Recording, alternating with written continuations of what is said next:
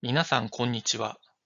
この動画では、電子ペンの状態検出を例として、ST の MEMS センサに内蔵された機械学習コアの設定手順を説明いたします。アイディアを思いついたとき、一行のコードも書くことなく、わずか15分ほどで実現性の確認を行うことができます。ターゲットとするアプリケーションの一例として、アクティブ式の電子ペンを想定してみましょう。タブレットなどで利用される電子ペンは、小型軽量化のために内蔵される電池容量が限られています。そのため、加速度センサーを利用してペン自体の使用状態を検出することで、効率的な電源管理を実現し、電池の消費量を低減することができます。今回の例では、このような電子ペンの使用状態を、使用していない、ステディ、ユーザーがペンを手に持っているが作業は行っていない。アイドル。実際に電子ペンとして使用されている。ライティングの3つの状態に分類してみます。そしてこれら3つの動作状態を検出するため、機械学習コアを利用した判定アルゴリズムを実際に作成してみたいと思います。まずは使用するツールをご紹介します。ハードウェアとしては MEMS センサ評価用のプロフェッショナル MEMS ツールを使用します。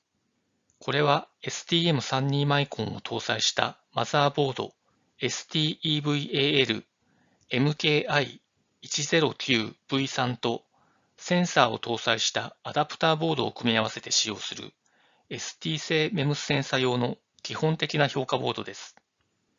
アダプターボードは各種センサ用がラインナップされていますが、今回は機械学習コアを内蔵の4製品の中から、6軸センサ LSM6DSOX を搭載した STEVAL MKI197V1 を使用します。一方、ソフトウェアですが、Unico GUI という MEMS センサ評価用の専用ソフトウェアを使用します。無料でダウンロード及び使用いただくことができるもので、Windows 版だけでなく MacOS や Linux 版も用意されています。このソフトウェアは先ほどのプロフェッショナルメムツールに完全に対応しており、センサーのデータリード、ログファイルの保存、全レジスタのリードライトをはじめとして、機械学習コアの設定を行うことができる唯一のツールです。それでは具体的な手順を見ていきましょう。機械学習コアの設定はこの図に示すような5つのステップで簡単に行うことができます。まず最初に判定したい状態ごとにセンサーのログデータを収集します。では実際に作業を始めてみましょう。ボードのセットアップを行います。非常に簡易的で見た目も悪いですが、まずはアイディアを思いついた直後の初期検討という想定で、このように評価ボードをペンに取り付けてみました。もちろん、最終的にはペンの形状とセンサーの搭載位置、基板の機械的な設計などが結果に影響します。ただし、あくまでも初期検討段階であれば、このようなセットアップでも始められます。さて、ボードを USB ケーブルでパソコンに接続し、ボード上の青い LED が点灯したら準備完了です。ボードを接続したらユニコを起動します。最初にデバイスの選択画面が出ますので、iNemo イナーシャルモジュールのリストから今回使用する LSM6DSOX を選択し、セレクトデバイスボタンを押します。ユニコのメインウィンドウが開きました。まず最初にオプションタブを選び、センサーの設定を行います。加速度センサーのフルスケールは初期値の 2G のまま、アウトプットデータレートは 26Hz を選びます。ジャイロは今回使用しないので、パワーダウンのままとしておきます。設定が完了したら、スタートボタンを押します。この状態でプロットを開くと、このように加速度センサーの動作を確認することができます。次に、ロードセーブタブを開き、ログファイルの設定を行います。ブラウズボタンをクリックし、ログファイルの保存場所とファイルネームを設定します。最初は静止した状態、 Stable のログを記録するので、 File name は Stable としておきましょう。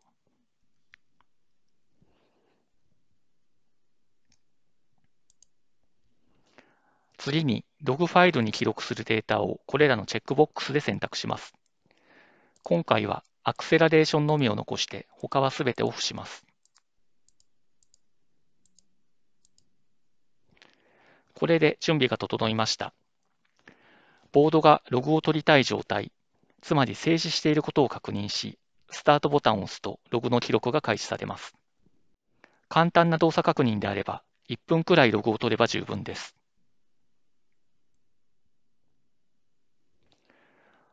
ストップボタンを押すとログの記録が停止されます。これで静止の状態のログが記録できました。次はボードを手に持っている状態、アイドルの状態でログを取ります。ファイル名はアイドルとしておきます。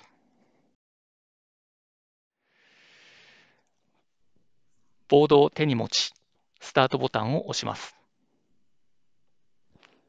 同様に1分ほどこの状態でログを取ってみましょう。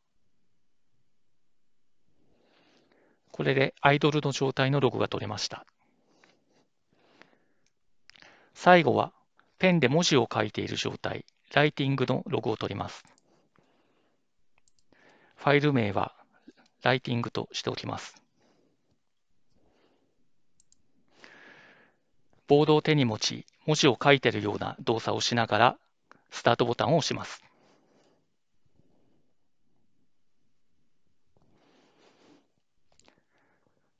これでライティングの状態のログも取れました。以上で機械学習を行うためのベースとなるログファイルがすべて取得できました。続いて取得したログにラベルを付加しながらユニコ GUI の機械学習コアツールに読み込み特徴量の演算などを行います。その上で機械学習を実行しディシジョンツリーを生成します。では引き続き作業の様子をご覧ください。まず、 Unico のメイン画面から MLC ツールを起動します。最初に Data Pattern タブで先ほど取得したログファイルを読み込んでいきます。 Browse ボタンからこのようにして先ほど記録したログファイルを選択していきます。まず最初に Stable text を読み込んでみましょう。読み込めたら、こちらのボックスでクラス名をつけていきます。このデータには Stable とクラス名をつけてみます。そして Load ボタンを押します。同様の手順で Idle text を読み込み、クラス名を Idle と名付け、ロードします。さらに Writing も同様に読み込みます。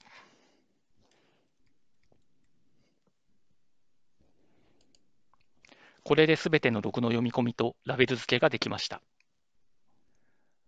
次に、 Configuration タブに飛び、機械学習コアの設定を行っていきます。まずは、ターゲットデバイスとして LSM6DSOX を選びます。次に、機械学習コアの ODR を 26Hz に設定します。機械学習コアへの入力は加速度センサーのみなので、アクセラロメーターオンリーを選び、フルスケールを 2G、ODR を 26Hz とします。これらはログを取得した際のセンサーの設定と一致させてください。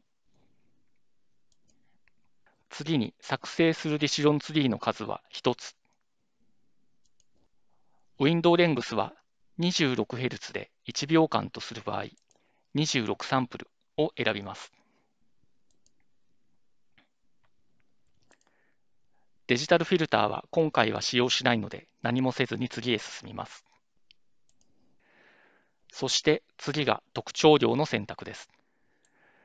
今回は各状態の判定のために軸ごとの平均値、さらにベクトルの分散を使うことで判定ができると考えられるので、こうして平均値とベクトルの分散にチェックを入れます。ログファイルに対する特徴量の演算結果を中間ファイルに保存しておきます。適当な名前をつけてセーブをしてください。そして設定した3つのクラス、判定すべき状態に対する出力コードを設定します。今回はデフォルトのままとしておきます。 Stable の場合は0、 Idle は4、 Writing の場合は8という出力コードがそれぞれ割り当てられます。ここでいよいよログファイルから学習をして Decision Tree を生成します。この青いジェネレートボタンをクリックすると一瞬で機械学習が完了します。学習結果はこのウィンドウに表示されています。これがディシジョンツリー。下の方には混同行列なども表示されます。次に各クラス出力に対するメタクラシファイアを設定する場合は、ここで設定が可能です。今回の場合は0としておきます。最終結果としてディシジョンツリーを含む設定ファイルを保存します。.ucf というユニコ独自のファイル形式で保存されます。以上で機械学習コアの設定は完了です。最後に生成されたディシジョンツリーをセンサー上に書き込み、実行して動作確認を行います。必要であれば、この作業を繰り返すことで、より精度の高い Decision Tree を得ることができます。それでは作業の様子をご覧ください。では、先ほど作成した Decision Tree をセンサーに読み込んで動作確認をしてみましょう。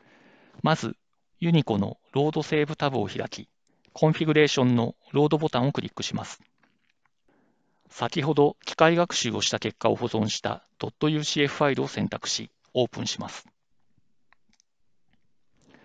ここにローデッドと表示されれば、UCF ファイルにより新しい設定がセンサーに書き込まれ、ディシジョンツリーも動作をし始めています。